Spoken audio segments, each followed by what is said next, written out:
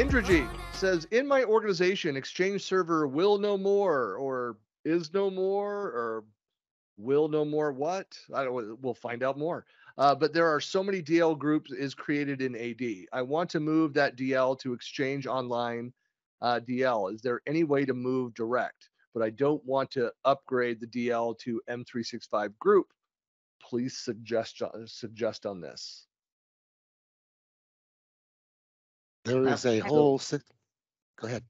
Yeah, no, no, Hal, you, this is your space. I'm Go just for it. going, well, there is a whole section in the uh, Exchange PowerShell section of Learn, which talks considerably about uh, how to get groups, how to move groups, how to put groups, pull groups, how to erase, erase them and remove them.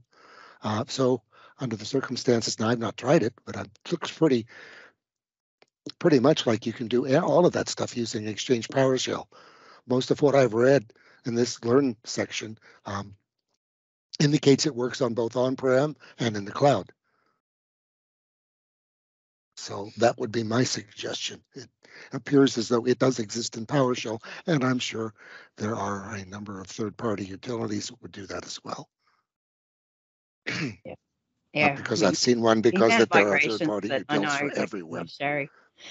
Yeah, We see it, it happens all the time. But then I also go, well, do you really need them all still as distribution lists? And why not turn them into the modern M365 type links? Because, you know, frankly, there's a lot of benefits to actually doing that because you're going to end up with double ups as well with none of the tech sort of backing up because you're going to need them if you create a team, then you're going to end up with another email and then they're going to get confused when they go into the global address list because you're going to have two emails actually happening.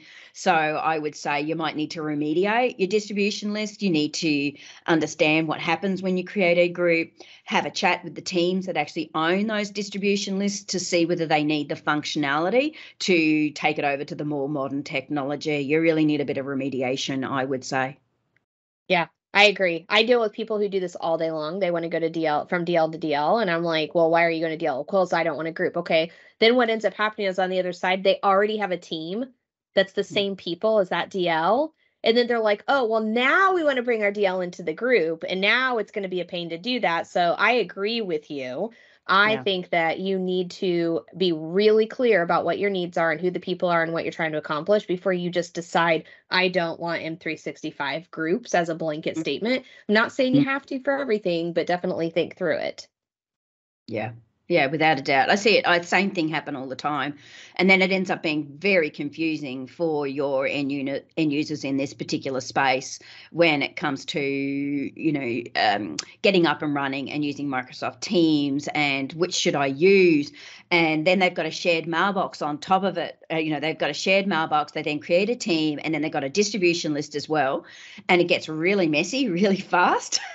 and they get confused and people are emailing one and not the other and they don't understand the difference between a distribution list the shared mailbox and a team you know having those groups as well they don't get the difference so you have to untangle that then for your business and try and help them on the education piece because it gets it gets really messy otherwise if you don't think it out as part of the migration I'll tell you a secret groups are easier.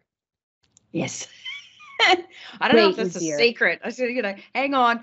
Let's just say groups are easier. yeah. Any thoughts on that one, Christian? Pretty much it. Just migrate. Migrate them to the new way. Just do it.